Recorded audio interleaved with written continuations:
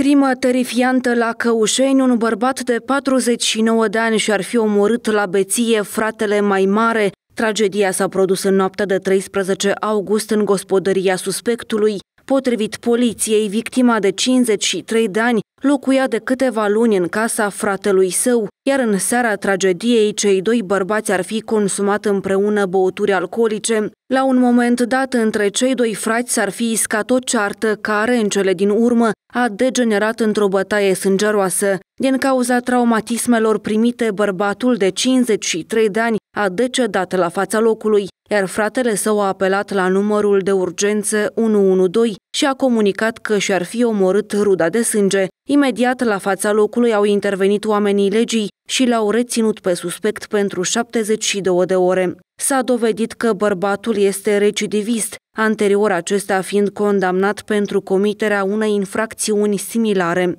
Pe marginea acestui caz a fost inițiată o cauză penală pentru omor intenționat. Dacă va fi găsit vinovat, bărbatul riscă de la 15 la 20 de ani de pușcărie sau detenție pe viață.